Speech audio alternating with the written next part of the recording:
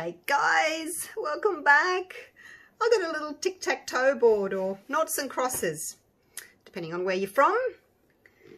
Or I guess, I call it uh, noughts and crosses personally, but tic-tac-toe just kind of rolls off the tongue.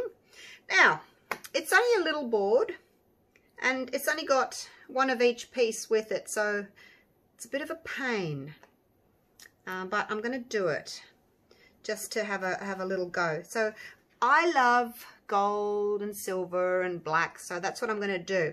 I'm going to pour first. I'm going to do it in two stages. I'm going to pour down here first these lines in gold, and I'm going to use this um, Colorberry Carrot Gold. Haven't used it before, so I'm going to use that for my lines.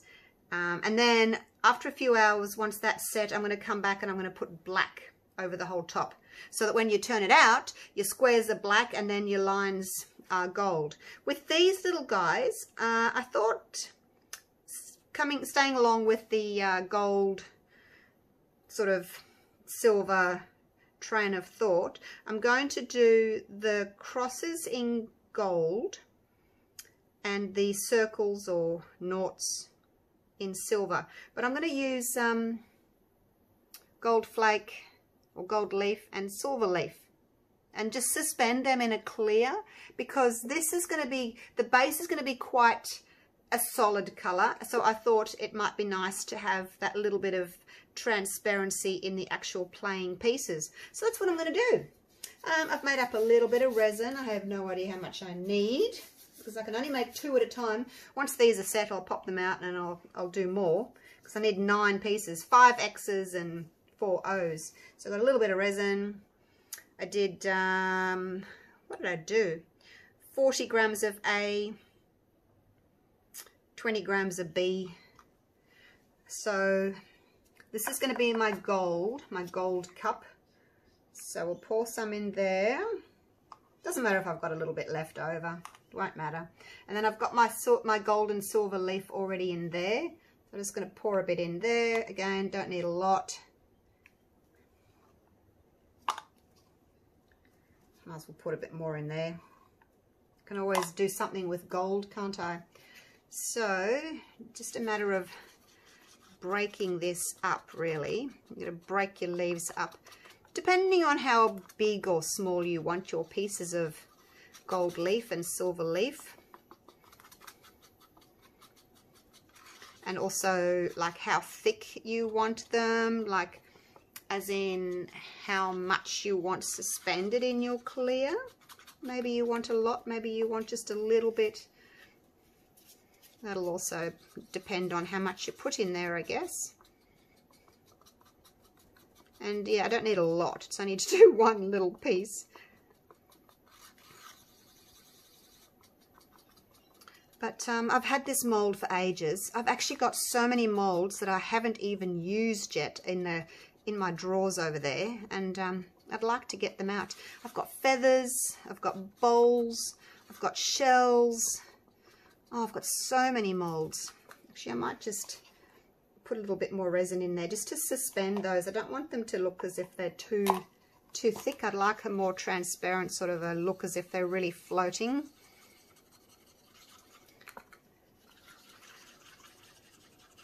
So I think that would be nice. Silver doesn't seem to break up as easily as the gold does. I think I put more silver in there than I did gold. And we'll just finish off the rest in here. Give that a stir. I think I had a little bit too much silver. It was a little bit sort of congested looking. I want it to be more, more sort of floating with a clear background. All right, so that's that done. Now this one, hopefully it's a pretty colour. I wasn't sure what to use for this, whether it was um, like the gold pigment or like a powder or a paste. I wasn't sure, but let's just, we'll try it out, hey? See what it does. Looks very metallic. But then once you've stirred it in a bit, it kind of loses that look because the gold was kind of sitting on top. Hopefully it'll still be pretty. It's not as yellow as that. I'm not quite sure how you get it quite that yellow. Won't matter. Give it a really good stir up. Clean the stick, make sure there's no mica powders on the sticks. I'm just going to let that sit for a minute, just in case there's any bits of powder that haven't get got mixed in. They can just sit there and I'll give it another stir in a minute. Looks like little dots appearing on the top. I don't know what that is. Look. Oh, must be all the colour coming to the surface. That's bizarre. All right, let's fill these in. Now, I have researched it and it, the people that know say that there's five X's and four O's. So, I'm just thinking maybe because the lines are gold, I'm going to have quite a lot of gold. So maybe I need to do more silver. So maybe the X is in silver because there'll be five of those and then four of the O's. Might do it that way just because there's already a lot of gold in there hey that'll kind of even it up a bit so let's pinch this and we'll just pour into these little tiny tiny molds. Look at that. Gonna have so much left over. Such a waste. That's all I can do. Spread that out a little bit. See I didn't want it too too thick of silver. I think that's just enough. Glad I added the extra resin. Didn't want it too, too congested. You want to, I want to see the clear, you know. Look at all that what I've got left over. I'm going to have to get my keyring mold out and make something with the leftover. All right, here we go with the gold. So I'll have five pieces in silver, four pieces in gold, and that'll just balance out the fact that I've got the gold lines. That's quite a big chunk. I'm going to take that out. If you haven't mixed it in properly, you get big chunks, and I don't like that. Oops, there's a bit of silver snuck in. Get out! Let's break it up a bit. Spread them out. See, you can see that little bit of clear all the way around there. I think I can put a tiny bit more in. I want to fill them up because as resin dries, it shrinks. So I want them to be nice and domed. All right, so that's what I've got left there. Let's clean my stick off. Right, that was hard work, wasn't it? Look at that, the gold's come back, back up to the surface. How weird is that? All right, so now I'm just going to pour into the lower area and hopefully bring it up to the height of these squares. Ooh, it's a bit tricky to do. I might have to make my own mould.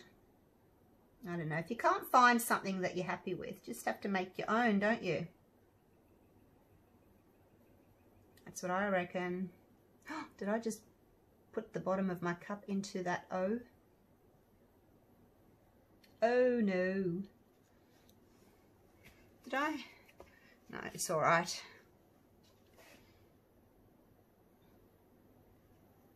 Now, level, uh, resin self-leveling, so it will find its own levels and fill in everything. Just make sure that I've put enough in there. I don't know what this is going to look like because to me it looks kind of mottled. But we'll see what happens when it dries. It's my first one. If I don't like it I can change to some other type of gold. We'll see what happens. Fill that up. It looks pretty. Looks pretty on the glove. Mm, can I put any more in? I've leveled my bench or my, my board under here. I'd rather level my board than my table. So I've leveled my board, which is sitting on my table.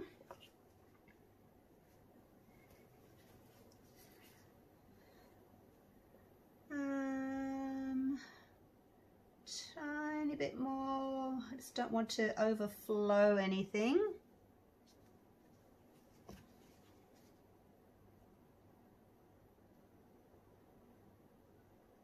That looks good. I don't think I can put any more in there. Look at that, I've got that left over.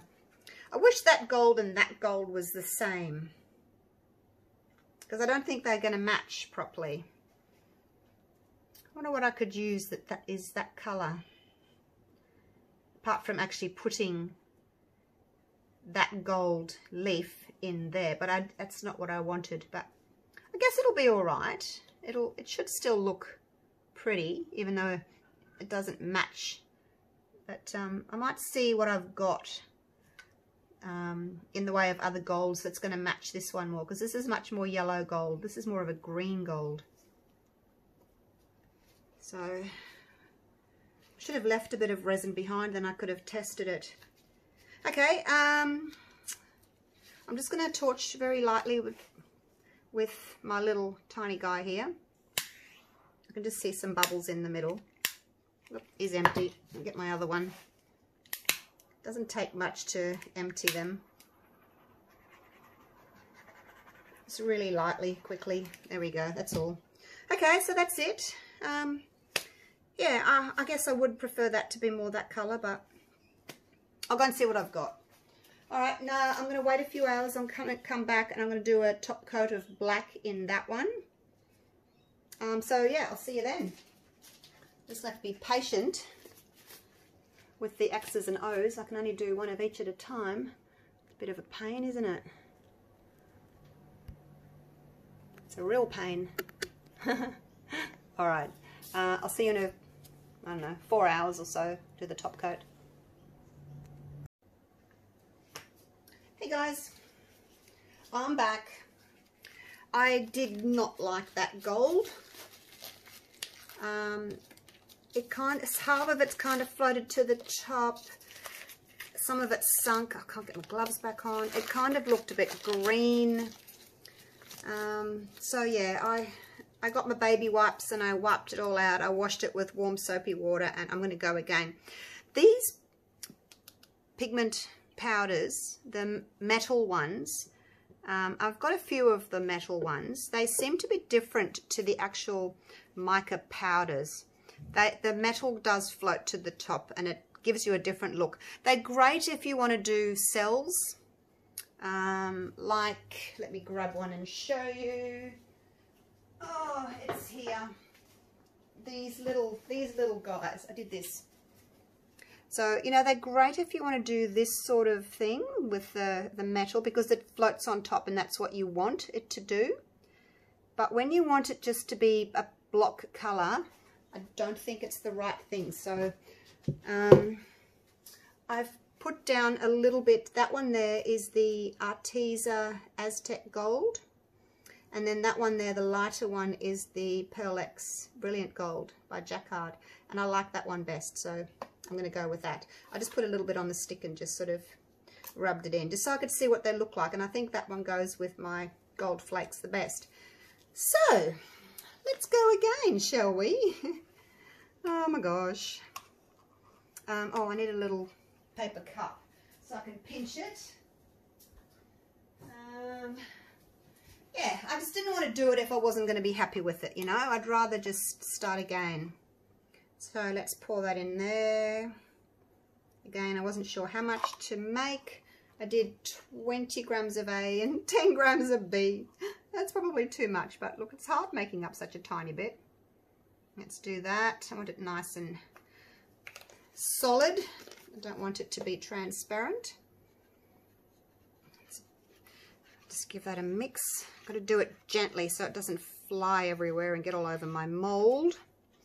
But I think I'll be happier with it.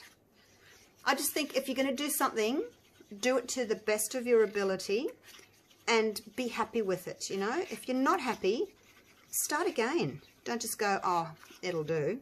Well, I don't anyway. Start again. Do it to the best of your ability. That's all you can ask for, hey? And I just wasn't going to be happy with that finish. It was kind of a green and it was mottled. and I did not like it at all and it didn't match with my gold leaf. So that matches much better. So if you're not sure, just get a piece of paper towel or a bit of paper or something and just put your colours down. Give them a rub with your finger or a stick. See what they're going to look like.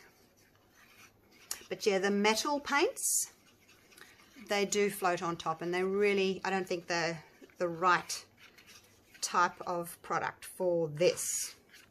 But they work beautifully for cells on a painting. I must do some more of those. Hey, I've got so many things I want to do and just not enough time to do them. I'm just going to torch in there. Oh, that's my empty one. Let me get my other one. There we go. All right. Let's go again. Second time's a charm. Mm, round we go.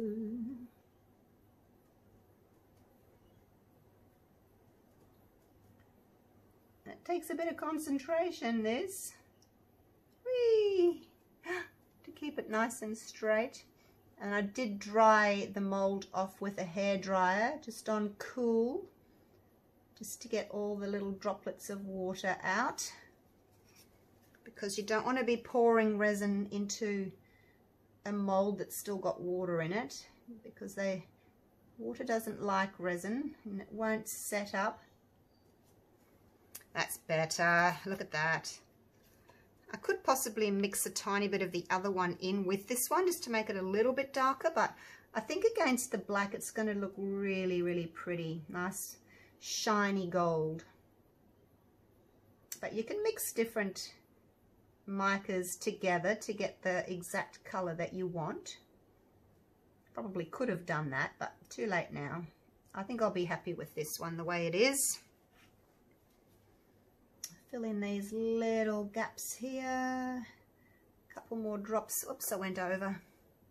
Spilt. Little tiny bit there. Spilt. All right I think that's it. Yeah better not put any. Oh how much more can I put in there without it overflowing? I don't want it to overflow, but then I don't want it to shrink and then um, it doesn't look as if it's filled enough. Just a couple more drops is all it needs, really. Okay, there we go. Right, I'm going to be happier with that. Clean up my little drop.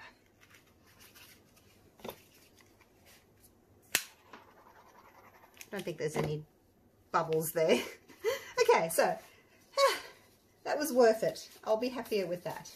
Okay, same as before. I'll see you in four hours for the black top coat.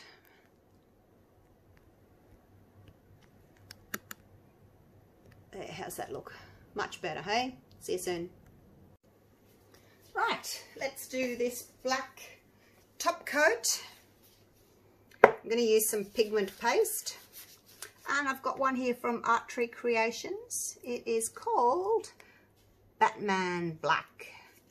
So, let's pop some of that in. It's kind of looking a bit congealed. Better clean my stick, hadn't I? I'm just going to use the same cup that I've mixed in. I'll just use my, clean my stick. And then I can pop it back into that jar. They do tend to solidify a little bit, I found, the, the pastes. You can just put the lid back on and then sit it in a, a warm water bath or a hot water bath. I just make sure that the water doesn't come up to above the lid, the bottom of the lid, just in case it leaks in there. Okay, that's not opaque yet, so I'll add some more because I want it nice and opaque. So you can still see the stick through there, so that's not ready yet clean that off and then pop some more in. There we go. Hopefully that's enough. That's a good amount that time. Give it a really good stirring. I shouldn't be doing this over my Norton cross, should I? In case I drip on it. I can do it over here. That's looking better. I've had such a busy day today. My gosh, I've done three projects and helped a friend with the project. I'm exhausted. It's seven o'clock in the evening. Hardly sat down all day. It's one of those days where I wanted to try this and then I thought, oh, and I want to try that and I want to try that. So I've been busy, busy, busy. I just want to make sure there's no lumps in there because that paste was a bit, like I said, a bit congealed. It wasn't of a smooth, liquidy paste. Starting to thicken, so I just want to make sure I've got no lumps. That's looking good, hey? You can't see the stick through that anymore. Although I do feel as if there's some lumps. Right, maybe I need to put it in a hot water bath and bring it back to liquid.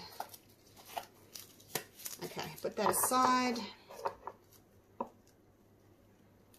Put it there in case you want to see. There's my little torch.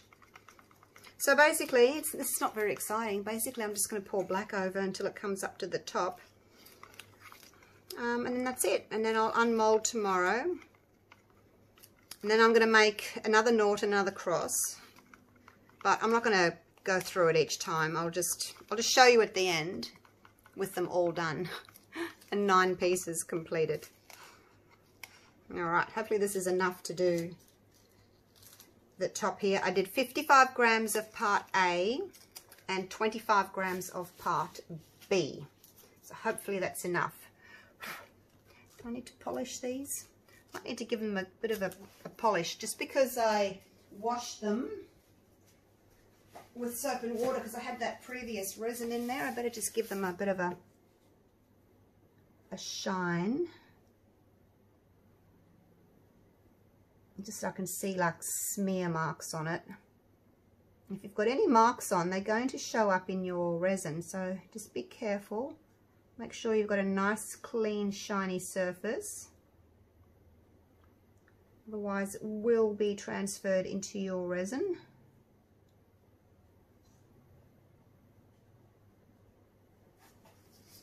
Doesn't look much different. Uh, okay, here we go. Pouring in.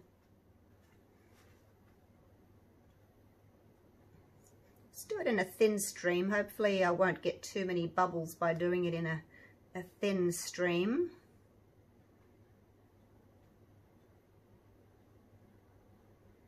Was that a blob that just went in? Go out to the corners. Hopefully it's enough. Oops, I better stop there in case I run over. Whoa! I think this side's too high. Let me have a look over here. Yeah, I did put an extra stick under this side, but now I'm thinking I don't need it. Oh, how do I get rid of it? There we go. Had an extra stick under there. I don't usually. oh, all right. Here we go. Well, I didn't use all of that. It's nice to know, isn't it, that um, how much you need. So I've got a little bit left. So what did I say? 55 and 25. So I probably just need maybe 40 and 18, I guess. I always need more of part A because, you know, A is heavier than B. So maybe 40 and 18, something like that would be ideal. All right, um, let me just torch. Actually, let's do the spritz. Let's do the alcohol spritz. It's like a, a song. Let's do the spritz. Move those out of the way.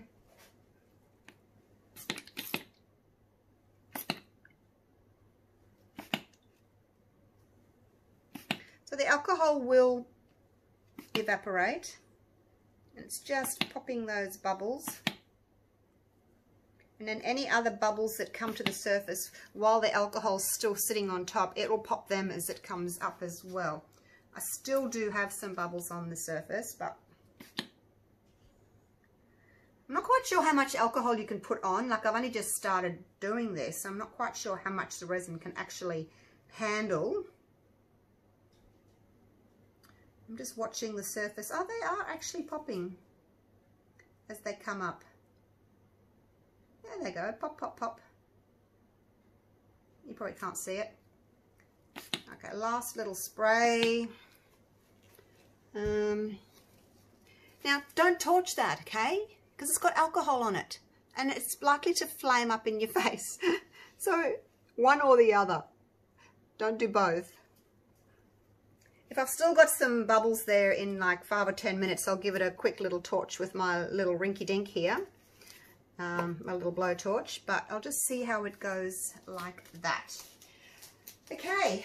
Um, and then um, we'll unmold in the morning and, and see what it looks like, hey? I'm excited. My first tic-tac-toe game. All right. See you in the morning. Good morning, everyone. It's the next day. Well, morning for me anyway. And here we go. Not terribly exciting, is it? Let's have a little look. It's got that little little piece in the middle there. Can you see that? Don't know whether that's just because all the resin's kind of gone into the middle as it does. Pulls from the outside in, or whether it's my resin that did it.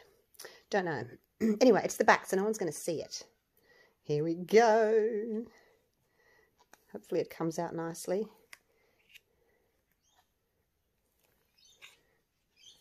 I wonder if I need to put you on autofocus. Let's have a little look. Just because I'm going to be lifting it up. Just loosen it all the way around first.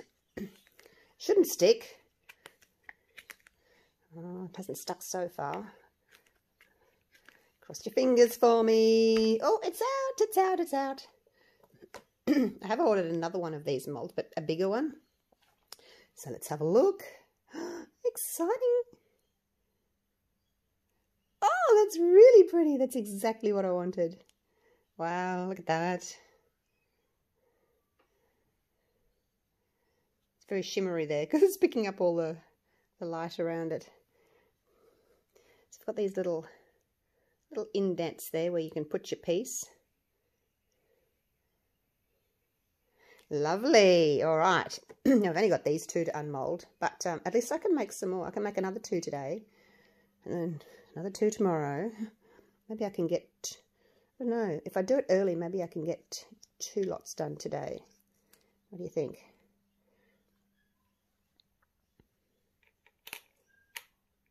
It just fits, doesn't it? Look at that. It just fits. How are you supposed to get your fingers in there to move it? Alright, let's do the next one. Comes out nice and easily. There we go. There's a tight little fit for these, but it's, I mean, it fits. It's just, who wants to play? I've only got two pieces. Never mind. All right, um, I'll make some more up, and then when I'm done with the whole lot, um, I'll take a photo of it and show you the finished product. Okay, thanks for watching, guys. See you soon. Bye for now.